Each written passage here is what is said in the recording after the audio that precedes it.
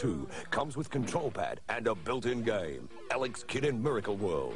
The Sega Master System 2. Radically serious fun. Ja, hallo meine Lieben und herzlich willkommen zu einem neuen Video von und mit eurem Gameblamer. Und heute habe ich hier was richtig Schönes. Radically serious fun. Die Anfänge ja, der Videospiele-Konsolen im Wohnzimmer, also die ernstzunehmenden Atari 2600, wollen wir natürlich jetzt hier nicht vergessen und die ganzen nachfolgenden Modelle 5200, 7800. Aber wir landen hier jetzt schon im Konsolenkrieg Nintendo gegen Sega.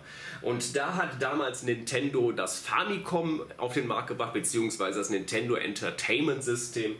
Und Sega das Master System. Es gab das Master System 1, das eher nicht so erfolgreich war und dann kam das Master System 2, das hier noch so wunderschön glänzt und von mir auch gemoddet worden ist hier mal wieder, wie fast alle Konsolen von mir.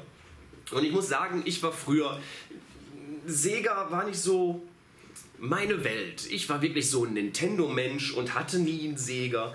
Ähm, mittlerweile, wisst ihr ja, hole ich mir alle Konsolen hinterher und ich muss sagen, das Master System 2 ist eine richtig coole Konsole. Ähm, kann auf jeden Fall mit dem NES mithalten, leider was die Spiele angeht nicht so. Ähm, da gibt es zwar auch richtig coole, aber natürlich ist die Bibliothek an NES-Spielen viel, viel, viel gewaltiger. Ähm, als die für Sega. Obwohl Sega halt immer so hardwaremäßig eigentlich immer die Nase hätte vorn haben müssen, weil die ja eigentlich aus dem Arcade-Automatenmarkt kommen. Die haben früher Arcade-Automaten gebaut und dann haben sie gesagt, hey, komm, wir gehen mal hier in die Videospielebranche fürs Wohnzimmer. So kam das überhaupt mit Sega. Und ähm, ja, ich bin froh, dass ich jetzt nach und nach mir diese ganzen Dinger hole. Äh, was kann ich zum Master System 2 sagen? Also, das ist hier auch wieder so, ich werde euch keine Jahreszahlen oder so um die äh, Ohren knallen, sondern einfach, wie ich das empfinde, wie ich das so erlebt habe. Und das erste Mal, als ich ein Sega Master System gesehen habe, das war das Sega Master System 1 bei einem Kollegen von mir mit Asterix und Asterix war cool. Das ist ein richtig cooles Sega Master System Spiel. Und wenig später habe ich es mal bei einem Mädel ähm, gesehen mit Sonic. Und da habe ich zuerst gedacht, das wäre ein Mega Drive, weil Sonic auf dem Master System da, äh, zu Sonic auf dem Mega Drive, ich habe gar keinen Unterschied gesehen. Also Hammer, was das Ding so konnte. Ähm, ja, was können wir beim Master System 2 so sehen? Also der Schalter hier ist normalerweise nicht da. Ähm, dann haben wir den Power-On-Knopf einen riesigen Pause-Knopf und wir haben hier hinten, das haben wir normalerweise auch nicht, wir haben hier RF, also normalen Antennenanschluss und natürlich für unseren Netzadapter, für unseren, äh, für unseren Strom. Ich habe hier allerdings jetzt noch Composite-Anschlüsse rangebaut, weil ja, Antennenkabel habe ich nicht immer, habe ich eigentlich an gar keinem Fernseher mehr. Und äh, ich habe aber immer so ein Kabel an meinem Fernseher dran, an jedem Fernseher hier im Haushalt. Ich habe ja hier vier Fernseher irgendwie in der Gegend rumstehen. Und dann ist das einfach besser, wenn man sowas hat. Es sei denn, man hat natürlich RGB und SCART-Kabel. Dann ist das natürlich die bessere Wahl. So, ähm, Besonderheit hier ist, um den Steckplatz zu schützen vor Staub, kann man das hier, zack, das kann man verschließen und wieder aufmachen. Und wir schließen das Ganze jetzt einfach mal an, um euch zu zeigen, was noch Besonderes war, nämlich ähm, auf dem Sega Master System 2 war von vornherein installiert ein Spiel. Und zwar Alex the Kid. Und das ist gar kein schlechtes Spiel. Ich habe jetzt leider kein Joypad hier gerade dran, aber es reicht, um euch das zu zeigen. Ich werde das Gameplay einfach mal einblenden. Das müsst ihr jetzt nicht sehen, wenn ich das hier einschalte. Äh, ihr hört das dann sowieso hier im Hintergrund, obwohl ich kann euch da noch mal was zeigen. So. Ich bringe das Ganze jetzt doch mal rum. So, Alex the Kid im Miracle Town oder World. So, und jetzt kann ich euch mal zeigen, das Besondere an meinem Schalter, den ich hier habe, ist, wenn ich umschalte, ist das erstmal die PAL-Balken haben wir wieder. Das Bild wird zusammengedrückt. So ist das wieder äh, weiter auseinander. Und so ist das etwas langsamer, weil das so PAL ist. Beziehungsweise 50 Hertz. Die Musik ist auch langsamer. Und wenn ich das umschalte, gleich noch mal im Spiel eben gucken.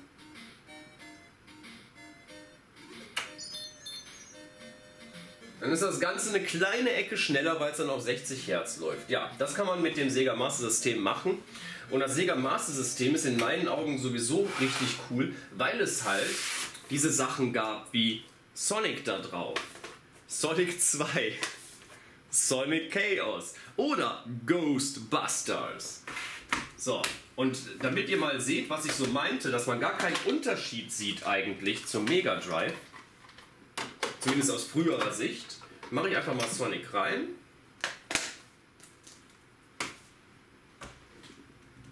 Sega Master System 2, radically serious fun. Ha. Ich meine, klar, jetzt ist natürlich die Grafik ne, nicht so, so pralle. Ihr müsst euch das so vorstellen, das ist ja früher für die LCD-Fernseher, äh Quatsch, nicht für die LCD-Fernseher, für die CRT-Fernseher, also die alten Fernseher entworfen worden, die gerade mal höchstens 480p Auflösung hatten. Ja, also äh, es war nicht vorgesehen, auf dem 47 Zoll LCD oder LED-Fernseher sich das ganze Spiel anzugucken.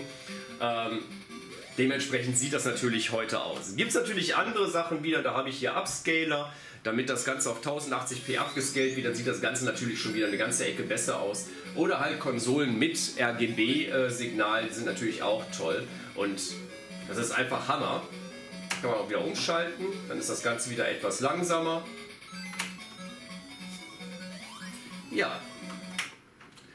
Und wie gesagt, also das Master System 2 in meinen Augen wirklich äh, äh, ja, ein super Gerät.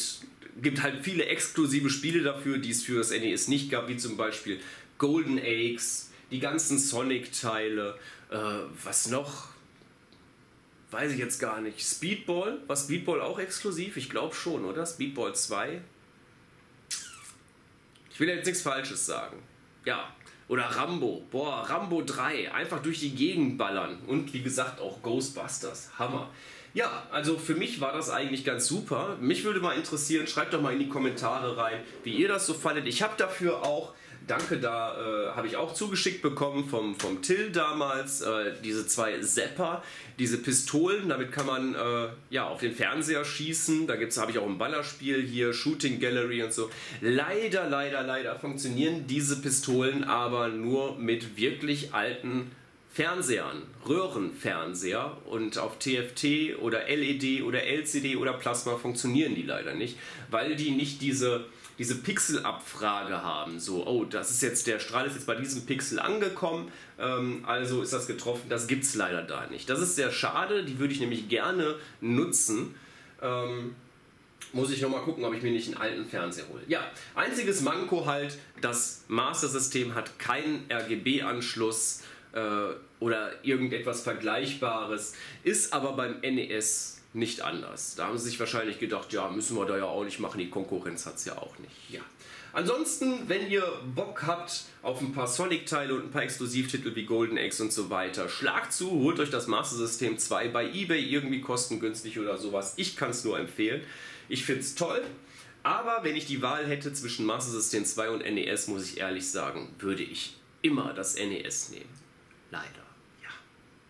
Ja, ansonsten, wie gesagt, ich freue mich schon auf eure Kommentare unterm Video, was ihr davon haltet, wie ihr das Master-System erlebt habt oder auch nicht und eure Meinung dazu. Und ansonsten bleibt mir jetzt nur noch zu sagen, ich wünsche euch noch einen wunderschönen guten Morgen, guten Mittag, guten Abend, wie spät es auch immer bei euch sein mag. Stay tuned, euer Gameblamer.